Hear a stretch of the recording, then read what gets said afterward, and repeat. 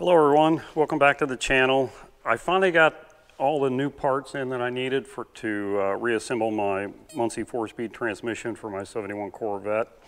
Uh, just quick update, this, this is a Muncie four-speed transmission. I got it from Corvette Generation. My car originally came with the um, Turbo 400 automatic transmission and I wanted to go with a four-speed. So I got with Corvette Generation, told them I needed a, a four-speed kit. They sell a kit where they give you the transmission, the bell housing, clutch, pressure plate, um, the uh, stock shifter if you want it. You can update to a Hurst shifter and um, everything you need basically, including the, the center console plate for the four-speed and stuff. Everything you need to put a four-speed transmission in your car all the, the clutch linkage and clutch pedal assembly, all that. The problem I ran into, my car is a 1971, and unfortunately down there, uh, I, I, don't know how they arrange their parts, but he gave me a, a Muncie four-speed transmission. It works just fine and everything. There's nothing wrong with it to go in my car, but when I pulled it out here and started working on it and ran the numbers on the case, I discovered it's out of a 1965 Corvette. And some of the changes I could see on it were the, um, here on the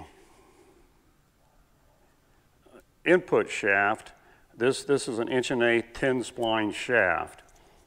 Okay, if it, if it would have been for 71, this would have been a I think it's a 32 spline. I, don't quote me on that. I know it's a lot finer spline. Okay, that was one difference. Um, the other difference is, and I'm not sure uh, if mine would have had a one inch uh, counter shaft in it, but this one has a 7 8 counter shaft.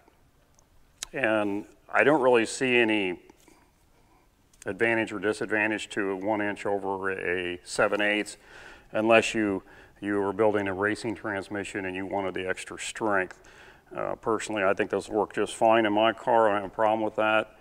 But again, it was something a little bit different. Um, seemed like there was a couple of little differences I can't think of right offhand. If I think of it, I'll let you know. But uh, when I tore into this transmission, originally it was just to replace the seals because it was leaking a little bit, but I found little odds and ends wrong with this transmission internally and uh, seal-wise, that I'm glad I tore it completely down. One of the things I discovered was these, um, these steel thrust washers. These are the new ones here. I had to order new ones. My old ones were worn down pretty good. Some of them, uh, especially for the reverser secondary shaft, um, I mean, it was worn down really good. Um, so I, I, had to order new thrust washers. Now, I'd really like to have gone with a, a bronze-faced thrust washer, but everywhere I looked, the only ones I could find for, that were bronze-faced here um, were for the one-inch shafts. So I, I, ended up getting the steel ones. That's what the factory had originally, the steel-faced ones like this, so it should work just fine. Um, it's just I would have liked to go on the bronze if I could have, but unfortunately, like I said, they don't make them that I could find for a 7 8 counter shaft. Now, uh, assembling this counter shaft, you have this, this gear assembly here, and you have to install all the needle bearings and spacers individually, and you pack them with grease to hold them in place. They don't have any kind of cage that holds them together. These are the original needle bearings I took out. They look like new. Um, I think they'll be just fine. They mic okay. They should measure 156 diameter for a 7 8 shaft. I think on a 1 inch shaft, I think they measure 120 diameter, but don't quote me on that. But anyway, on, on this particular transmission, they, they measure 156 thousandths diameter. And on the assembly here, you can see I kind of laid it out here. You have this center spacer tube that'll go in here, and then you have a spacer that will go here, and then a row of needle bearings, a spacer, a row of needle bearings, and another spacer. And you do that on both ends. And there should be 20 rollers per set here. So there'll be 20 rollers here, 20 or needle bearings, and 20 needle bearings here, and same way on the other end. So uh, normally, if you open a new pack, you don't have to count them out or anything. I did because I'm using the old ones over again. They look good. I don't think there's anything wrong with them. Um, so I'm using them over again. But I, I laid them out and counted them out just to make sure I didn't drop one when I was dis disassembling the transmission, and, and then I go crazy trying to figure out why I've got a space in one of my bearings here. So that's why I did that. So I'm going to go ahead and we'll, we'll, uh, we'll start uh, putting the, uh, the bearings into this gear assembly. Okay, the first thing I'm going to do is I'm going to put a bunch of grease on this and slide this in. It doesn't fit real tight in here, but it'll kind of help hold it in place and kind of help give you something to push the needle bearings against. So, um, grease her up good.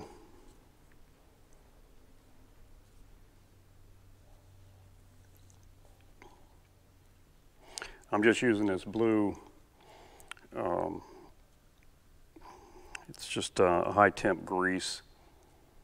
It's pretty sticky, so it should hold everything in place while I assemble it. Okay, I'll just shove that in like that. And I'm just gonna shove it in just a little ways. And then I'm gonna take my first spacer, and these are just hardened washers for the, the rollers to run against so they don't wear into that spacer. That spacer is just a mild steel spacer. Okay. I push that down just a little bit. I don't know it's showing up good in the video there. And then you just start taking your spacers and what I'm going to do, is I'm going to put a good dab of grease in the bore of this.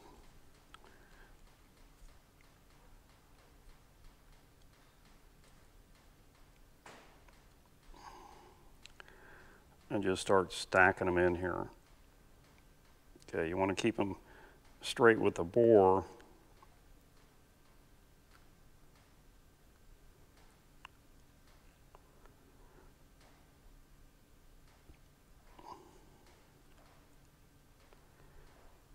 Or some people say you shouldn't use a dummy shaft when you assemble this, that, that the grease will hold the rollers in place. I don't know. It's the first time I've ever done this, so I guess I'll, I'll learn here. What a mess. I think it'd be easier to do without gloves, but because they, they want to kind of stick to your gloves too.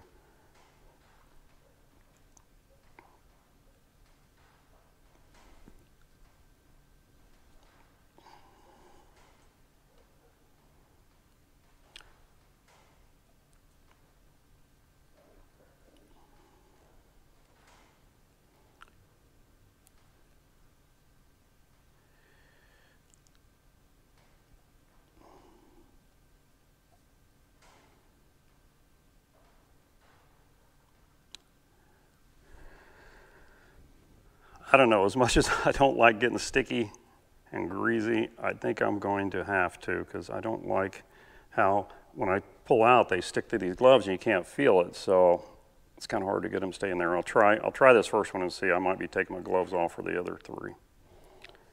Okay, I've got half the rollers in this side, half the needle bearings. Roller bearings, whatever you want to call them.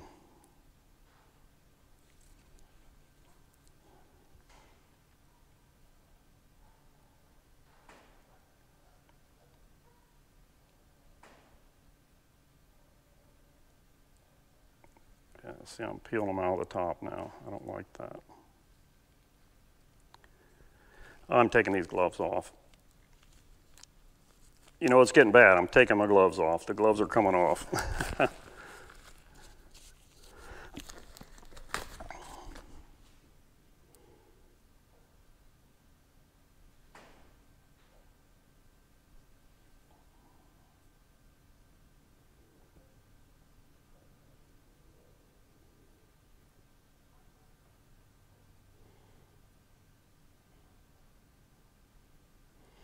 What I thought about doing is just sliding the shaft in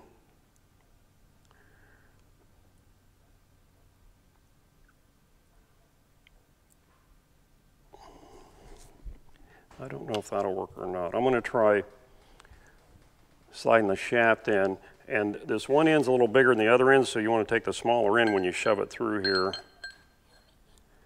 And I'm hoping I can slide through without pushing my bearings out.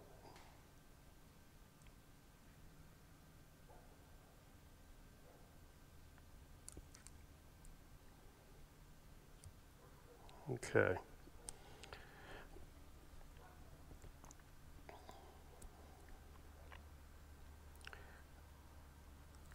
Okay, so I got the first ones in there.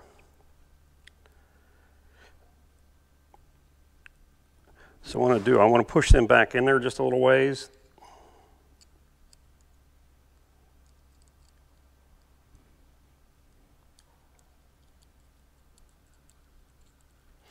And I'm sure the professional guys that do this are probably laughing at me, but hey, I've never done one of these before, so I'll just be happy if I get them all in there and don't have any rollers left over. Okay, so what I want to do is take this next washer, spacer, put in there.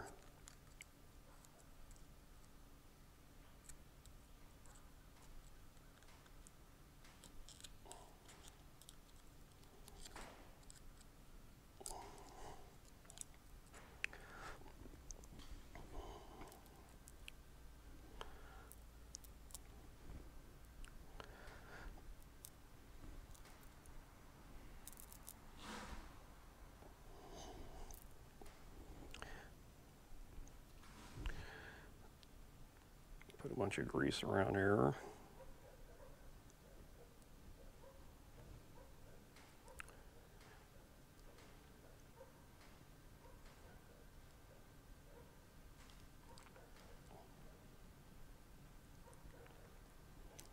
What I want to do is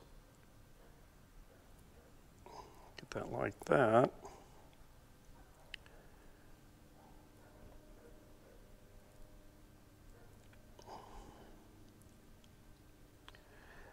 Start stacking them in there. I'm going to kind of keep with the bore.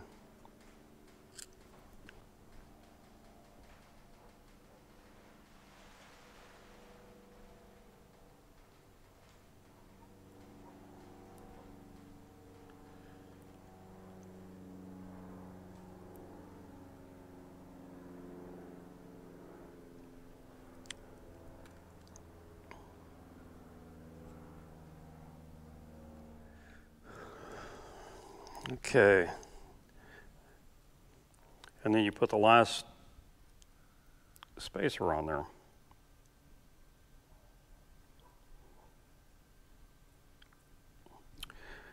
Okay, and you do the same thing to the other end.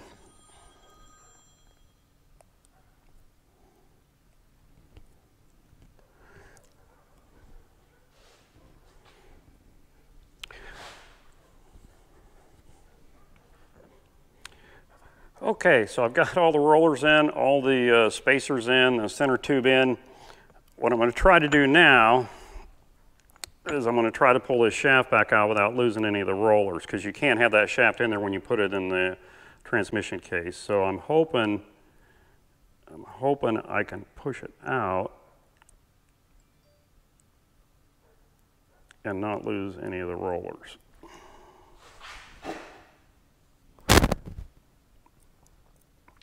Okay, that part's done. So let me get my camera reset and we'll install this in the transmission housing. Okay, I've got the transmission case here all cleaned up and ready to go back together. I'm going to put a little bit of this um, gasket maker in this hole here uh, because there's no seal on this other than just the fit of the shaft.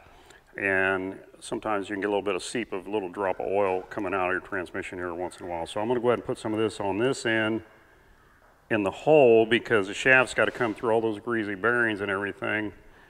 And I don't want to run this stuff through my bearings, so I'm just going to put a nice, good layer in there.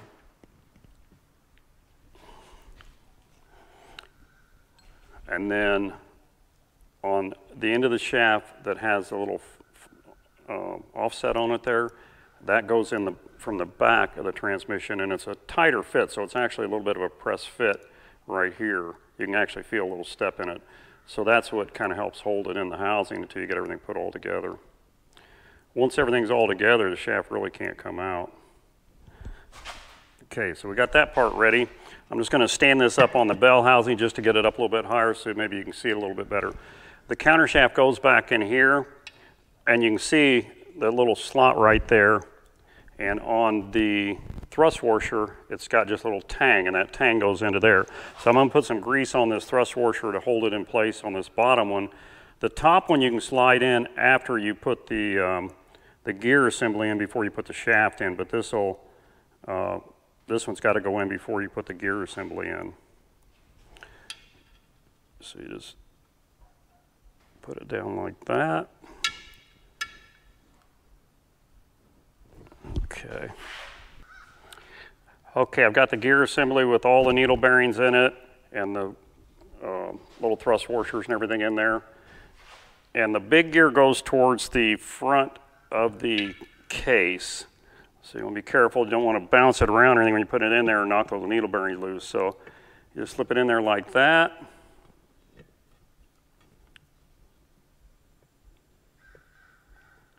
And now I'm going to grease the, this upper thrust washer a little bit. And then it goes in a little bit of an angle and the, the slot's off to the side so you can uh, put this in after that gear assembly is in place. Okay, I got it in. I got the shaft down in there. I'm going to go ahead and tap it in place. Make sure you get this slot where it's parallel with the bottom of the case.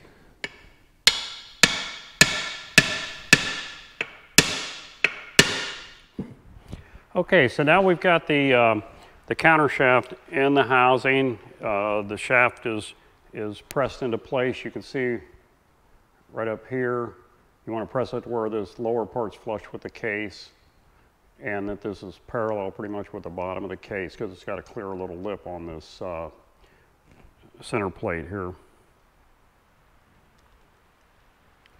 And the gear, it spins freely and up and down, if you can hear that, it feels me like I got somewhere between five and maybe five and eight thousandths clearance. I didn't check with the feeler gauge, but just basing on how far that's moving, it might be 10 thousandths maybe but I don't think it's any more than that. So that's, that's really good clearance. It spins free. Um, all the bearings are in there. I didn't any parts left over for that section. So that's gonna finish this video for today. Uh, we'll pick up again on the next video with uh, the uh, assembling the next part of the transmission. It'll probably be the input shaft and the main shaft. And uh, if we have time in the video, we'll go ahead and put the uh, the center plate here, the mid plate, and then the tail section on and, and button it all up and be have it put back together. So we'll see you on the next video. Thanks for watching.